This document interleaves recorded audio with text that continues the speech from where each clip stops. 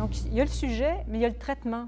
Parce que juste ce sujet-là, bon, oui, c'est intéressant, mais c'est la façon dont Joyce Carol Oates fait parler ces gens-là, qui, là, on sort du réalisme et on tombe sur une autre planète, et les gens ont des pensées qui, partent de la prose à de la poésie, et pourtant, on reste très attaché, on comprend tout, mais il y a des, des élevés de textes, des montées de textes dans lesquels les personnages peuvent se pousser au-delà de euh, d'une sorte de normalité.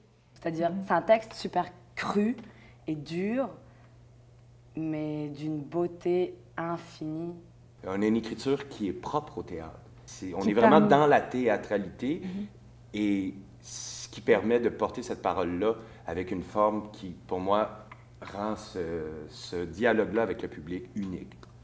En comptant les reprises, je pense que c'est ma dixième production avec le groupe La Veillée et je trouve que le travail qu'on fait ici, c'est un amour des textes que je retrouve de production en production.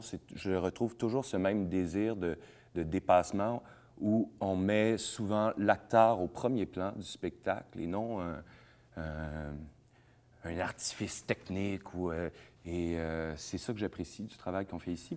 C'est très intense comme travail, c'est très exigeant, mais c'est exaltant à souhait.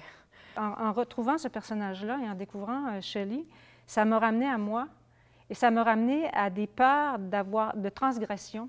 Et elle, a fait tellement de, elle passe à travers tellement de transgressions, elle ose tellement, elle se met en danger énormément. Mais si on ne se met pas en danger dans la vie, on ne fait rien.